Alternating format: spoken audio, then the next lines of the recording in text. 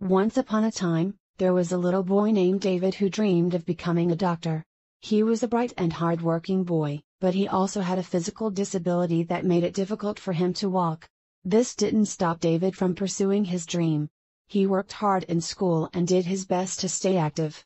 One day, David was walking home from school when he saw a group of older boys picking on a younger boy.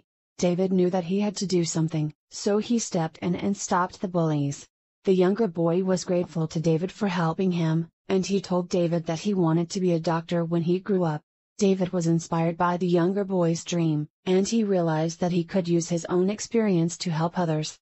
He decided to start a foundation to help children with physical disabilities achieve their dreams.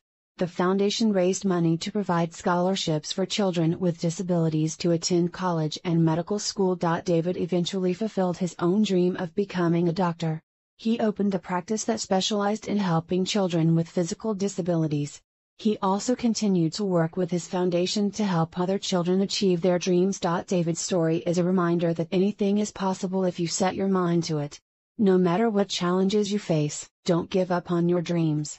Keep working hard and never give up on yourself. The moral of the story is that success is not about being perfect.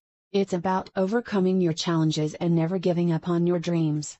David had a physical disability, but he didn't let it stop him from achieving his dream of becoming a doctor.